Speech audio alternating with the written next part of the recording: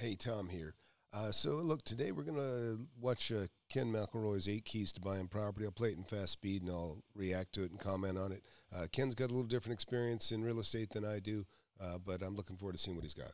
Hi, I'm Tom McKay. I've been investing in real estate, commercial properties, industrial properties, houses, apartments, offices, subdivisions. I also have a mentorship course to help people create their own fortunes the same way. My first class, I had immediate results. Ron made over $200,000 and has purchased 22 properties. Eric has purchased a trailer park and 34 acres of land.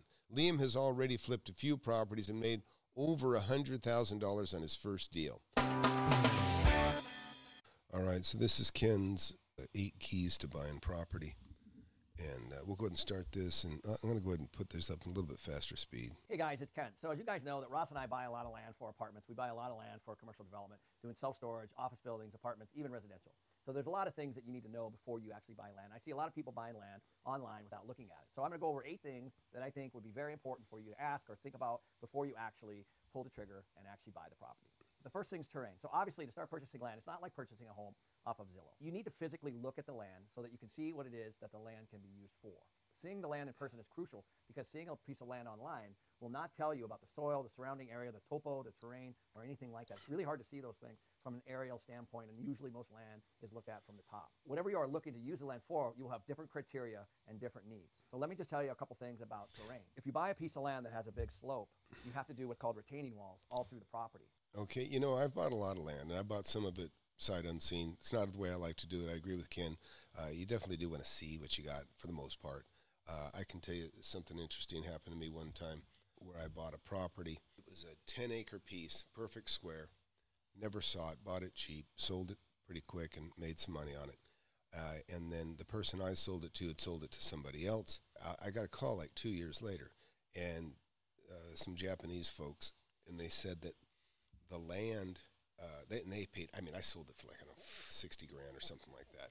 I can't remember well, they had paid like two hundred and forty thousand for it. They got really taken advantage of, it. and it was if the land was perfect, it wasn't worth anything out there. It was way out in the desert. Anyways, so they called me, and the first thing I did is I look at my contract because I want to make sure that I disclosed if there was any issues, and I wrote, "Properties being sold as is. Uh, buyer has fully inspected the property and accepts the property in its condition."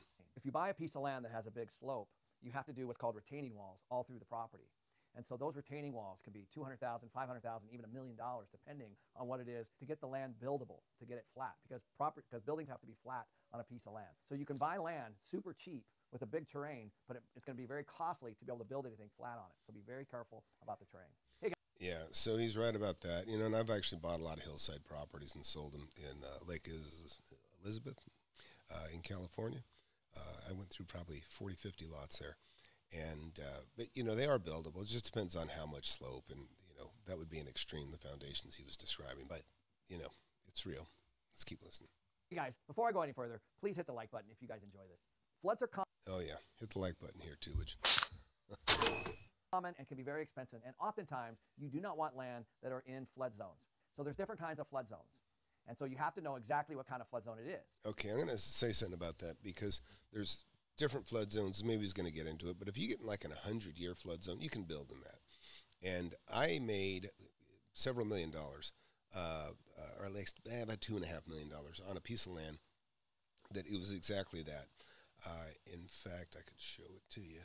Basically, I had six, 50 acres, 52 acres, and it had a creek running through it and it was like a seasonal creek. It seemed like it was wet all the time because I had a spring in it too, so a little bit of water would always be running through this thing. But all I had to do was improve it a little bit, and uh, FEMA knew about it, and I spent twenty thousand to do a flood study uh, on it, and I had to improve the ditch. So I got a bulldozer, and we just ran it through and cut it clean and made the edges a little wider and cleaner. And I mean, this is like I mean, this is like you know, thousands of feet long, but I spent maybe 20, 25,000 bucks, and now the whole thing was buildable. You could build right up, and it was a, a, nice feature. Actually, it was a nice feature to have that little creek through it. Uh, here, let me show you. This is a property I bought because I don't want you to be discouraged. I mean, this is a creek right here. This is a creek. It's going here, runs all the way down. It actually runs the other way. It runs this way. It goes under, like under the street over here, and then it runs here, runs here. My kids, my boys actually caught their first fish right here. There's a spring right here. So even when this was a little bit dry, there was always a big puddle of water here. But look, folks, I bought this property for two hundred thousand dollars, and I sold it for two point eight million dollars. So I made a lot of money on this, and it was worth more than that the day I bought it, of course. And it wasn't all about. I did improve this, and that made more of this property usable. So don't be afraid of all flood zone property. You know, like I always tell you, uh, you know, there is no bad property. There's just bad deals. You know, don't pay too much for a property because there's value in, in everything, even though you may not see it and you may not want it.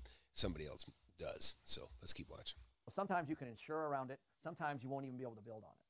Flood zones are determined by FEMA, the Federal Emergency Management Act. You can go online and check the different designations around flood zones. It basically says that those lands have a high risk of flooding, and the insurance company is going to have a problem with that, and your property could have a problem with that. Oftentimes, realtors do not know that there's flood zones on property.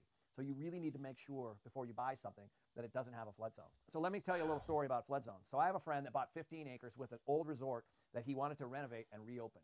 And it was 15 acres along this beautiful little creek called Oak Creek, which runs right through Sedona, Arizona. So he bought the land and he started to renovate the properties and he started to fix all the units that needed to be fixed and he wanted to open. And then what happened was the creek rose and flooded almost half of his property. What he forgot to check was that half the property was in a flood zone and therefore not buildable. So of the 15 acres, he only had a little over seven that he could actually do anything on. So be very careful because oftentimes you can buy a big piece of land and not be able to use it all.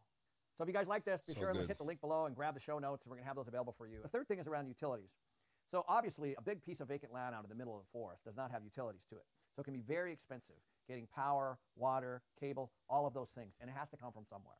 So it, it might have to come from a mile. It might have to Yeah, here's something about forest property also. It's expensive to clear, okay? because that tree, those trees grow like grass. You can have a, you know, like a, hundred foot tree every three feet.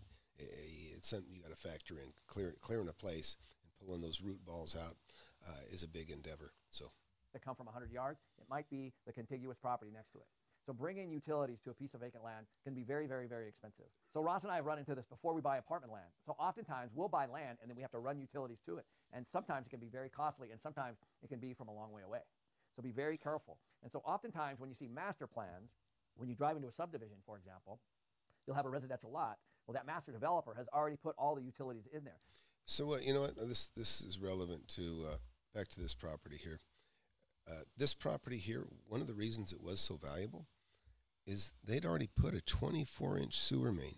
So a lot of times, whenever you see a creek, a creek is like what the lowest. It's like the lowest part of the property. Whenever you find a creek, it's the lowest. It's the lowest spot of all the area because that's where all the water runs and it forms the creek and then it runs whatever way it runs and it creates that channel.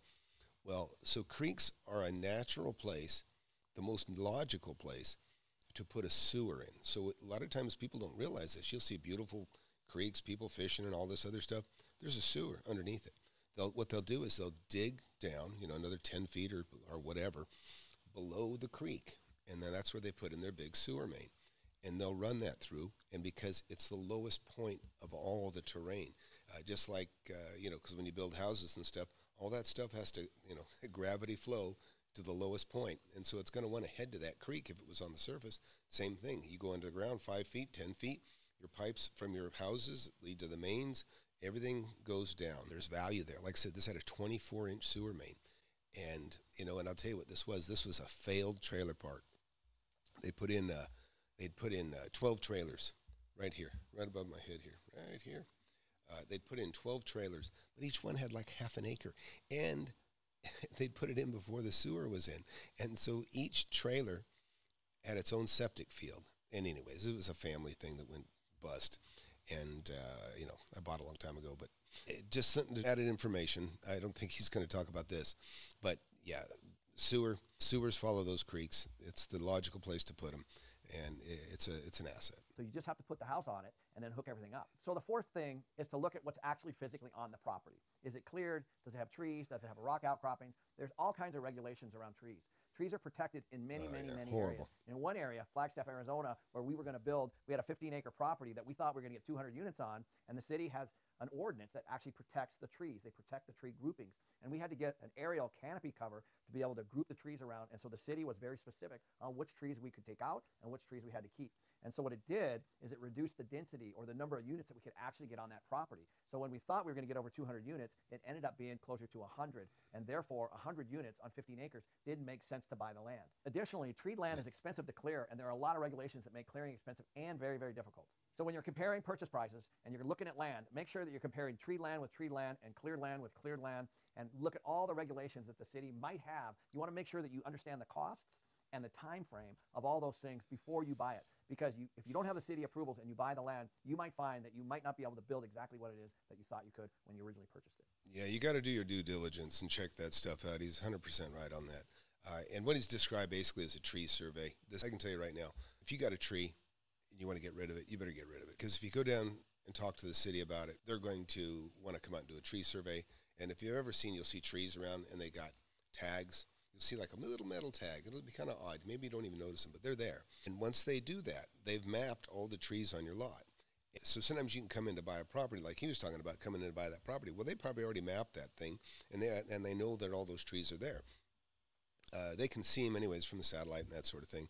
But trees do die and get lightning damage. Although they can tell if there's been lightning, they, they actually have markers for wherever there's a lightning strike, uh, because some people say, ah, that tree died of lightning and they'll say we don't show a lightning strike there. There's other kinds of things that kill trees too. That very property, actually, I, two kids set a little fire out there somewhere, and ended up setting my property on fire. When the fire department came in, they got heavy duty. They got bulldozer and stuff to make a path go through, and they destroyed uh, several you know, you know, century-old oaks that I had on that property. All right, hey, there's a part two to this video. If you want to see it, go to the next video. Uh, thanks for watching. Please uh, share and subscribe uh, this channel, and uh, I appreciate it.